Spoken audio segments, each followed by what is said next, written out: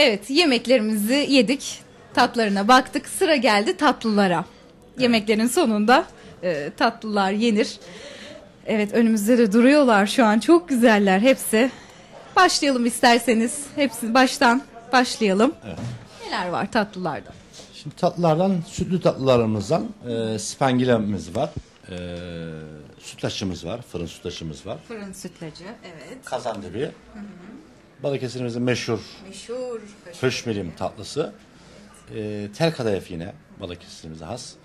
E, yine yöremize yetişen e, kendi yerli malımız olan kabak tatlımızı. E, Kemalpaşa tatlısı o da bizim sayılır. E, ve ekmek tatlımız var. E, kaymaklı. E, tatlılarımız bunlardan ibaret. Evet. Kısaca yapılışlarından biraz bahsedebilir miyiz Sinan Bey? E, tatlılar genellikle e, şu anda höşmelimi zaten hazır alıyoruz. Onu yapan firmalar var. Tel kadayıf ona kez daha hazır geliyor.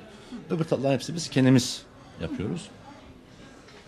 Şimdi ekmek tatlısını derseniz nasıl oluyor diye.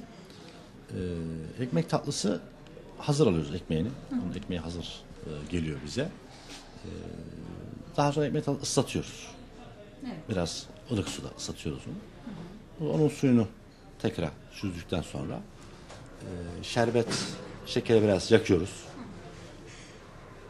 Ve e, bir ekmek tatlısına 2 kilo şeker ilave ediyoruz. E, o şurup olduktan sonra e, ekmek tatlısını bazen hani ayrı ayrı pişiriyoruz. Çünkü iki parçadır o. Bazı ayrısın, ayrı tepsilerde pişirirsin. E, bazen bu kürdan takaraktan bir tepside e, ayırmadan da e, pişirilebilir.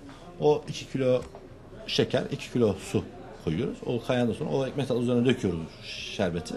Onu e, takriben 45 dakika gibi bir süreçte e, kaynatıyoruz. E, ondan sonra keserekten servisimize hazır hale getirmiş oluyoruz. Evet. Ekmek tatlısında ekmek çok önemli değil mi Sinan Bey? Ekmeği nereden temin ediyorsunuz? Şimdi bunu yapan e, değişik firmalar var. E, ama e, bunu en güzel yapan e, İstanbul firması. E, İstanbul firması.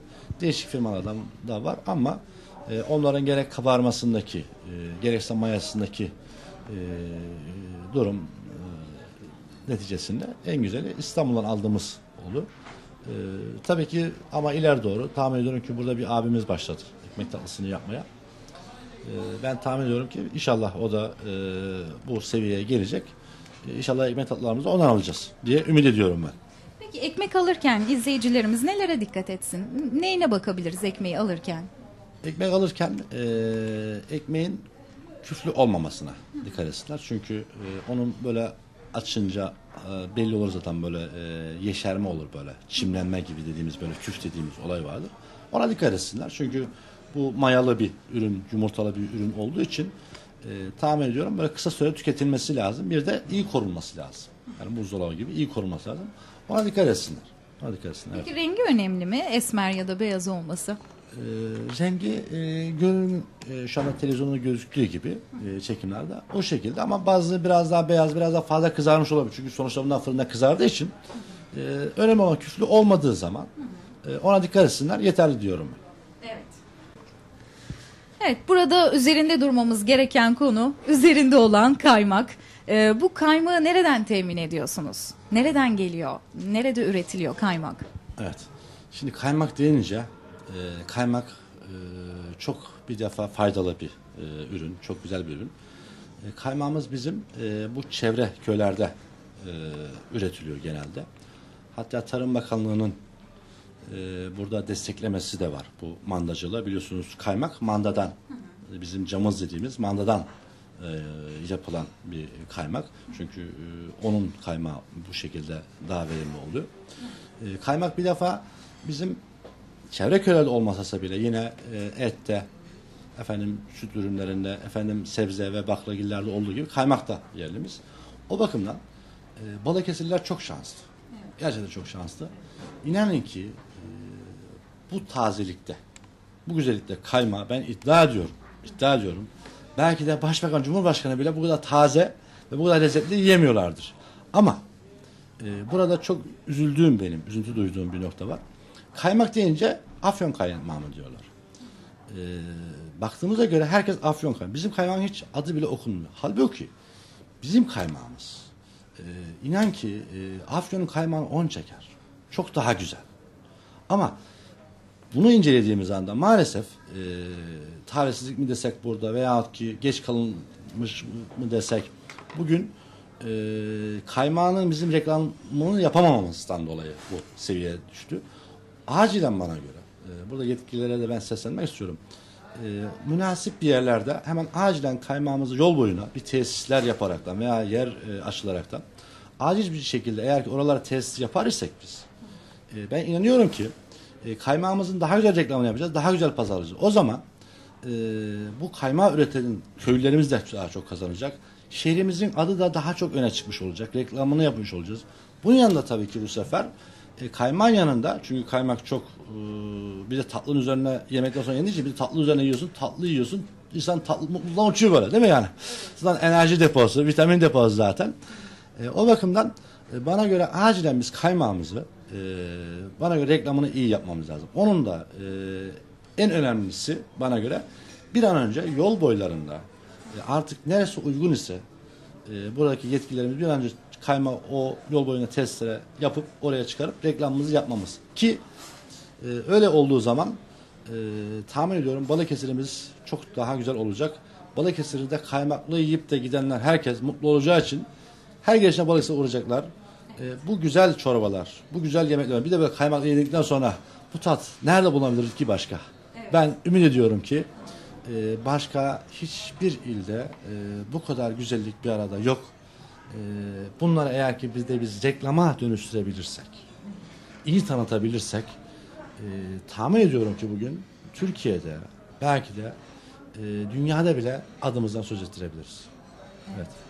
Peki Sinan Bey, bu güzel kaymak hangi köylerimizde üretiliyor? Bu kaymak e, genellikle e, Yakupköy, e, Halalca, e, Ayşebacı ve Balıklı köylerimizde var yoğunluk olaraktan.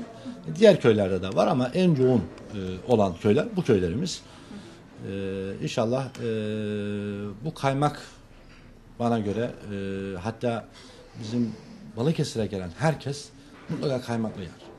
Hususi. Yani e, İzmir'e gidenler çevre yoluna girmiyorlar. Balıkesir'den geçerekten burada yemekten sonra kaymaklıyı böyle gidiyorlar. Ve sırf kaymaklı yemeye gelenler var Balıkesir'imize.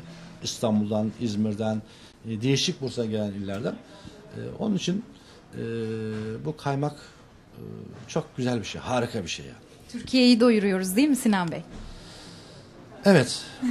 Balıkesir aslında Balıkesir'imiz e, biliyorsunuz Balıkesir'in vatanseverdir. Balıkesir'imiz Çanakkale'de en çok şehit veren ildir. Balıkesir'imiz biliyorsunuz e, Balıkesir Lisesi iki yıl mezun vermedi. Balıkesir aynı zamanda çalışkandır. Balıkesir doyuran, Türkiye'yi doyuran ildir.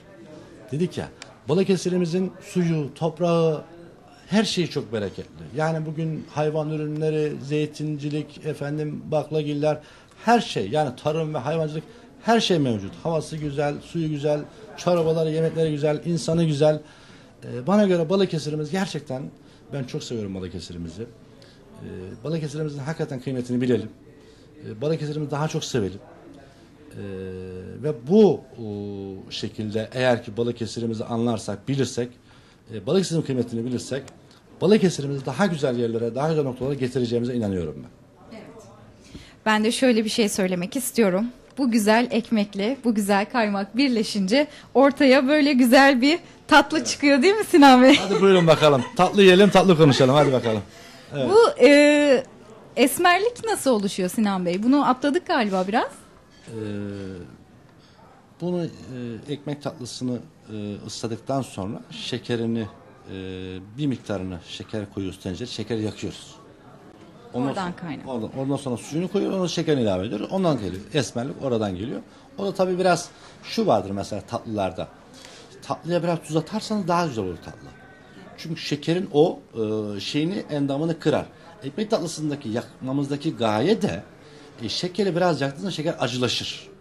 Hafif acı olunca e, ayrı bir tat verir tatlılara. Mesela biz çorbalarda da e, çorbalara biraz acı biber atarız. Neden? O çorbayı biraz sertleştirmesi için. Ama çorba attığım acı biber hani e, nasıl anlattığım gibi onda e, o e, acı yapmadığı gibi tatlılar da aynı şekilde biraz tuz ataraktan veya şek, ekmek tatlısını böyle biraz yakaraktan o sertleşmesinden dolayı güzel bir tat çıkar ortaya. O şekerin biraz daha o şeyi var ya o biraz daha kırılır o zaman. Evet. Buradan e, yemeyen izleyicilerimiz için onların e, hatrına tadına bakalım değil mi Sinan Bey? Hemen mikrofonumuzu bırakalım ve bu güzel tatlının tadına bakalım. Evet sizlere afiyet olsun inşallah. Bu arada kameramanı unutmayalım yalnız değil mi? Demirhan kardeşimin çok emeği var bu işte değil mi? Kameraman arkadaşımıza da yedirelim değil mi? Evet, Peki. Çok teşekkür ederim. efendim. Çok sağ olun. Evet. Çok teşekkür ederiz böyle e, güzel bir masa hazırladığınız için bize. Balıkesir'imize has yemeklerimizi, tatlılarımızı sizin sayenizde e, ekranlara getiriyoruz bugün. Çok teşekkür ediyoruz Sinan Bey. Efendim ben de geldiğiniz için e, bugün Karası Televizyonu gerçekten Balıkesir'imizin yegane e, tek televizyonu ve e, ilk göz ağrı. E, gerçekten ben burada Karası Televizyonu çok teşekkür ediyorum. Hani tek olmasına rağmen sanki birçok televizyon varmış rekabet ediyormuşçasına hem yayınlar kaliteli hem biraz daha şehrimizin e, yücelmesi için elinden gelen gayret gösteriyor. Gerek habercilikte olsun, gerekse yayınlarında olsun, okullar yarışı programında olsun, bir sürü yayınlarında olsun. E, bu bakımdan da ben e, sizlere çok çok teşekkür ediyorum efendim. İyi ki varsınız. Evet, tatlılarımızda okullar yarışıyor'a sorularımıza konu olabiliyor. evet, evet, e, evet inşallah. E, Balıkesir'imiz işte e, medya olması olmazlardan birisi. Bunun için